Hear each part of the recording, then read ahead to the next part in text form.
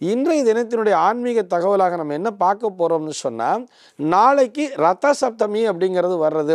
நாளைய தினத்தினுடைய ரத்த சப்தமியினுடைய சிறப்பு என்ன அப்படிங்கிறது தான் நம்ம இன்றைக்கே பார்க்க போகிறோம் ஏன்னு சொன்னால் நிறைய பேருக்கு ஒரு சந்தேகம்ங்கிறது இருக்கும். ரத்த சப்தமி அன்றைக்கி நான் சூரிய பூஜையை பண்ணணுமா? சூரிய பூஜை பண்ணணும்னு சொல்கிறாளே இப்போ தானே பொங்கல் போச்சு. பொங்கல் அன்னைக்கு தானே விசேஷமாக ஒரு சூரிய பூஜையெல்லாம் நம்ம பண்ணியிருக்கோம். மறுபடியும் ரத சப்தமி அன்றைக்கும் பண்ணணுமா? அப்படிங்கிற சந்தேகம் எல்லாருக்குமே இருக்கும். கண்டிப்பாக குறிப்பாக ரத்தசப்தமி நாளிலும் நாம் சூரிய வழிபாட்டினை செய்ய வேண்டும். அதாவது பொங்கல் அப்படிங்கிற விஷயம் தை மாதம் ஒன்றாம் தேதி.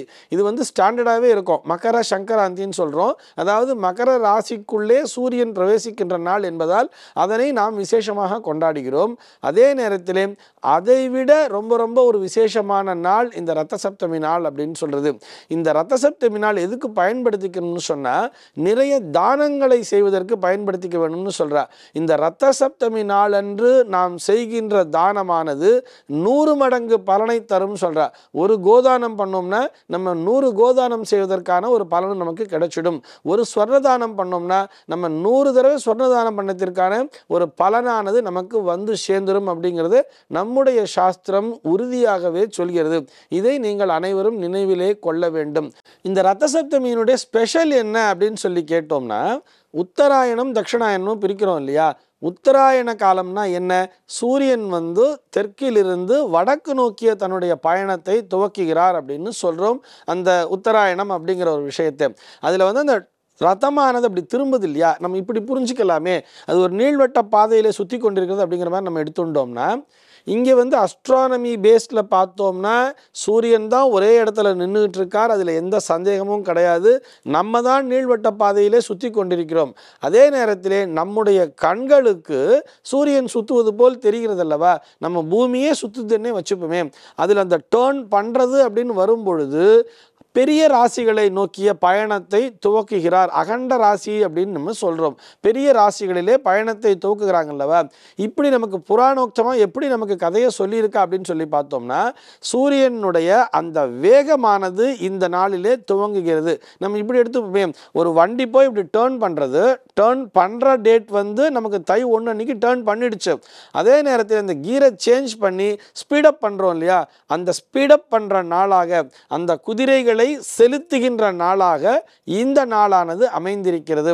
அதனால்தான் இன்றைய தினத்திலிருந்து அந்த சூரியனினுடைய வெப்பமானது அதிகரிக்க ஆரம்பிக்கும். அதனால்தான் நம்ம பெரியவாள்லாம் இப்படி சொல்லியிருக்கா. ரத்த சப்தமிங்கிறது ஒரு ருத்துவிலே மாற்றம் வருகிறது. அதாவது அந்த காலம்லாம் பிரிக்கிறா இல்லையா? அவள் வந்து இதை வசந்த காலம் அப்படிங்கிற மாதிரியும் சொல்கிறா வசந்த ருத்துங்கிறது வேற நம்ம தமிழில் சொல்லக்கூடிய வசந்த காலம் அப்படிங்கிறது வேற. இந்த காலத்திலிருந்து இது வந்து ஒரு அறுவடைக்குரிய காலமாக அறுவடை காலமானது துவங்குகின்ற ஒரு நேரமாக இந்த நாளினை பூஜிக்கிறார்கள். அதனால்தான் சூரிய வழிபாட்டினை மிகவும் விசேஷமாக செய்கிறார்கள்.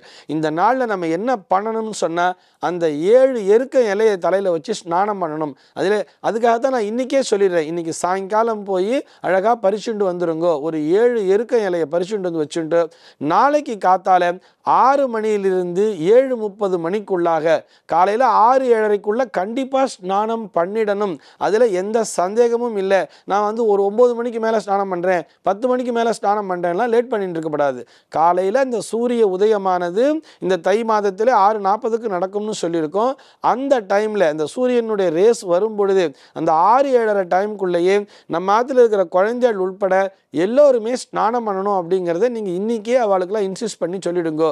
எத்தனை பேர் இருக்குமோ ஒவ்வொருவருக்குமே தனித்தனியாக ஏழு இலைகள் வீதம் அந்த எருக்க இலையை பறிச்சுன்னு வந்து வச்சுக்க வேண்டியது. எருக்க இலை கிடைக்கலனா கூட இலந்தை இலத்தை இலையை கூட பறித்து வைத்துக் கொள்ளலாம்னு சொல்லுது. ஏழு அப்படிங்கிறது கணக்கு. எதுக்காக சார் அப்படின்னு சொன்னோம்னா இந்த விப்ஜிஆர் அப்படின்னு சொல்கிறோம் இல்லையா? இந்த ஏழு வர்ணங்கள் அப்படின்னு சொல்லி சொல்கிறோம் இதைத்தான் நாம் வார நாட்களாகவும் வைத்திருக்கிறோம். ஏழு நாட்களாக. இதைத்தான் சூரியனினுடைய ரதத்திலே இருக்கக்கூடிய அந்த ஏழு குதிரைகளாக வைத்திருக்கிறார்கள். அந்த ரதத்துக்கு எத்தனை சக்கரம்னு பார்த்தோம்னா பனிரெண்டு சக்கரங்கள் இருக்கின்றன அப்படின்னு சொல்கிறார் இந்த பனிரெண்டு சக்கரங்களும் தான் பனிரெண்டு ராசி மண்டலங்கள் அப்படின்னும் சொல்கிறார் இந்த ராசிகளை தன்னுடைய சக்கரங்களாக கொண்டு இந்த வார நாட்களை அதாவது உண்மைக்கோள்களை தன்னுடைய குதிரைகளாக கொண்டு சூரிய பகவானானவர் பயணித்து கொண்டிருக்கிறார் அப்படின்னு சொல்கிறார் அவருடைய வேகம் துவங்குகின்ற நாளாக இந்த நாளானது அமைந்திருப்பதால் இந்த நாளிலே கண்டிப்பாக சூரியனை வழிபட வேண்டும். இந்த சூரிய வழிபாடு செய்வதன் மூலமாக இந்த வருடத்திலே நமக்கு அந்த சூரியனால் கிடைக்க வேண்டிய அத்தனை அருளும் நிச்சயமாக கிடைக்கும். எப்படி பொங்கல் வழிபாடு செய்வோமோ அதே மாதிரி தான் ஒரு நம்ம மாத்திர பின்னாடி தோட்டத்து பக்கமோ இல்லை ஒரு முத்தமோ இருக்குன்னு சொன்னால் அந்த இடத்துல நல்லா சாணத்தை தெளித்து சுத்தம் பண்ணி நல்லா மொழிகி அந்த இடத்துல அழகாக கோலம் போட்டு வச்சுட்டு இந்த ரதம் இந்த தேர் மாதிரி ஒரு கோலத்தை போட்டு அதில் சூரிய சந்திரன் சூரியனை மட்டும் தனிச்சு போடக்கூடாது சூரியனோட சந்திரனையும் சேர்த்து ஒரு படத்தை போட்டுட்டு பக்கத்தில் கரும்பு இந்த பொங்கல் பானை எல்லாத்தையும் வச்சும் அதே மாதிரி அந்த வெள்ளத்தை கொண்டு அந்த கரும்பு என்பது விசேஷம் என்பதால் அந்த கரும்பிலிருந்து தயாரிக்கப்பட்ட இனிப்பு தான் வெல்லம் என்பதால் அந்த கரும்பு சாற்றிலிருந்து வெள்ளம் வருவதால் தான் அந்த வெல்லத்தை போட்டு சக்கரை பொங்கலாக வைக்கிறா எல்லாருமே. அந்த சர்க்கரை பொங்கலை வைத்து சூரியனை நோக்கி வழிபட வேண்டியது. இந்த வழிபாட்டின் மூலமாக இந்த வருடம் முழுவதுமே நம் இல்லங்களிலே செல்வம் பெருகும் அப்படிங்கிறதுல எந்த விதமான சந்தேகமும் இல்லை.